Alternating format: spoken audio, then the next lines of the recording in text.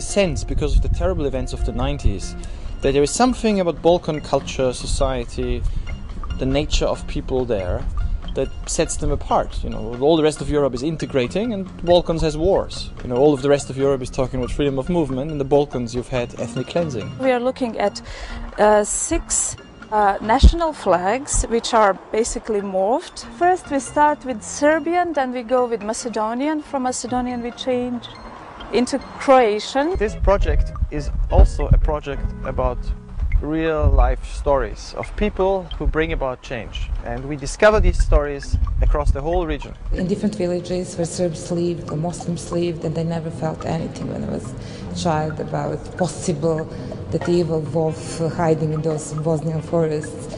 We spent too many years on the streets, uh, not really doing what we were supposed to do, meaning to studying at our faculties or, or doing our jobs, but we were protesting um, against the regime. Many of the peoples of the former Yugoslavia really were kind of, uh, they're kind of, I'm not saying a, a, a, kind of family, but you could, you could make a metaphor of a family of, uh, uh of love and hate. In this blue color of the flag, Kosovo flag, and in these white stripes, one of our guys, the public face, we were seeing a Serbian colors in, in that flag. He was not seeing anything else but Serbian color. One myth which is becoming stronger these days is uh, that Balkans is simply the crime land. Uh, in the way in the 1990s, everybody coming to the Balkans felt obliged to report about nationalism and ancient hatreds. It's hard to explain, it's hard to transmit to people how intense and how profound this um, this, this transition has been. People are not free in, in a sense of free will and a free of way of thinking, that they can do something. There is, there is a great uh, deal of lost respect. Because they don't believe in politics, and it's exactly the same thing like with communism. They think it is a dirty, dirty play, you know. My take is let's not go deep, let's go shallow. You know, let's go shallow because sometimes the obvious things are standing right out there for everyone to see. And the obvious things right now, at least in places like Albania, where I come from, is that after 10 years of turmoil, um, things are pretty peaceful. Politicians, however miserable they are, they live politics without a bloodshed. This new generation should not be so much focused on the enemy, but on the goals. I believe that Europe will be is enriched by the fact that you know the Balkans are in this continent. Uh, Europe and the Balkans can only succeed together. Uh, we are not capable individually in these countries of kickstarting our economies, of getting our social issues straight, of uh, reforming our judicial uh, uh spheres, of uh, reforming the secret services that have their communist past. You know, this image of the Balkan sisters, it will never work. This is what used to be said about Spain.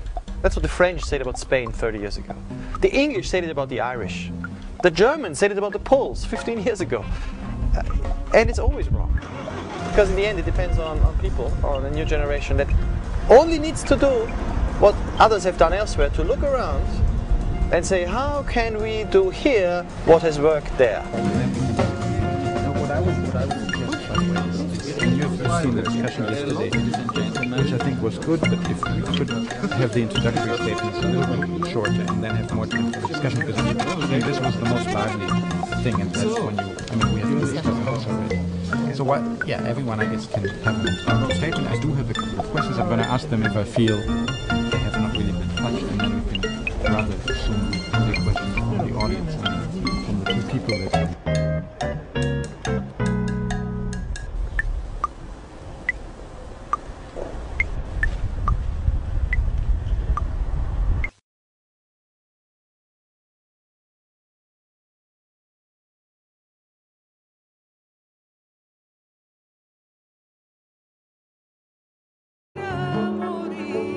There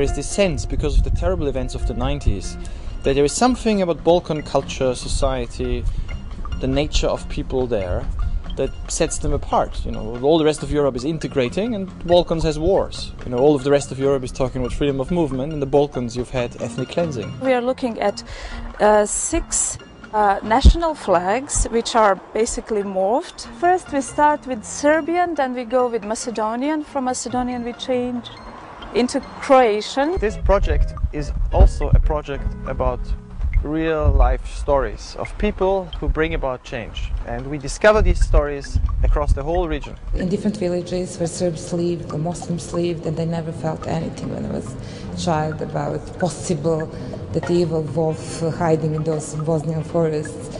We spent too many years on the streets, uh, not really doing what we were supposed to do, meaning to studying at our faculties or, or doing our jobs, but we were protesting um, against the regime. Many of the peoples of the former Yugoslavia really were kind of, uh, they're kind of, I'm not saying a, a, a, kind of family, but you could you could make a metaphor of a family of, uh, of love and hate. In this blue color of the flag, Kosovo flag, and in these white stripes, one of our guys, the public face, we were seeing a Serbian colors in, in that flag.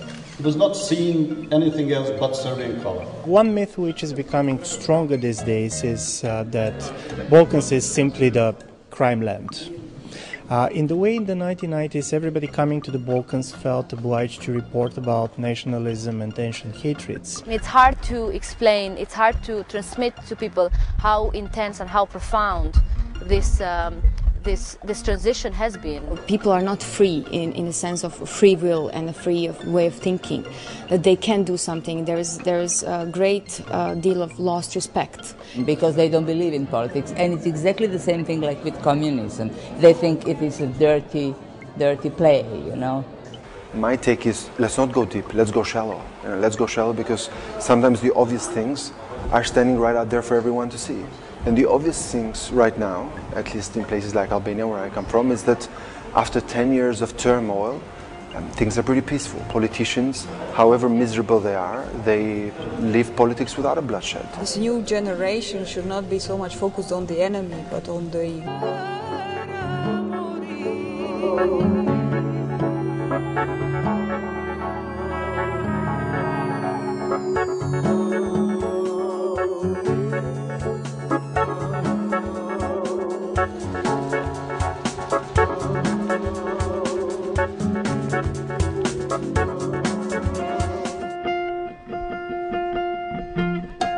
This sense, because of the terrible events of the 90s, that there is something about Balkan culture, society, the nature of people there that sets them apart. You know, all the rest of Europe is integrating, and Balkans has wars. You know, all of the rest of Europe is talking about freedom of movement. and the Balkans, you've had ethnic cleansing. We are looking at uh, six uh, national flags, which are basically morphed. First, we start with Serbian, then we go with Macedonian. From Macedonian, we change into Croatian. This project is also a project about real life stories of people who bring about change. And we discover these stories across the whole region. In different villages where Serbs lived, or Muslims lived, and they never felt anything when I was a child about possible that evil wolf hiding in those Bosnian forests.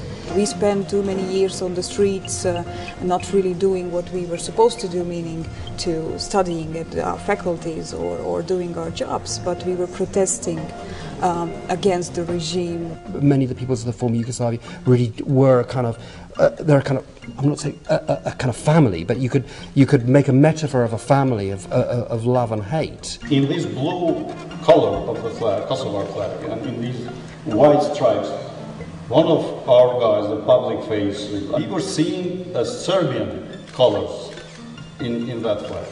He was not seeing anything else but Serbian color. One myth which is becoming stronger these days is uh, that Balkans is simply the crime land. Uh, in the way in the 1990s, everybody coming to the Balkans felt obliged to report about nationalism and ancient hatreds. It's hard to explain, it's hard to transmit to people how intense and how profound this um, this this transition has been. People are not free in, in a sense of free will and a free of way of thinking, that they can do something. There is there is a great uh, deal of lost respect because they don't believe in politics, and it's exactly the same thing like with communism. They think it is a dirty, dirty play, you know. My take is let's not go deep, let's go shallow. You know, let's go shallow because sometimes the obvious things are standing right out there for everyone to see. And the obvious things right now, at least in places like Albania, where I come from, is that after 10 years of turmoil, um, things are pretty peaceful. Politicians, however miserable they are, they live politics without a bloodshed. This new generation should not be so much focused on the enemy.